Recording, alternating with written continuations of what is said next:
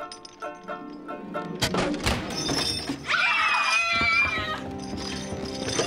Hurry, hurry!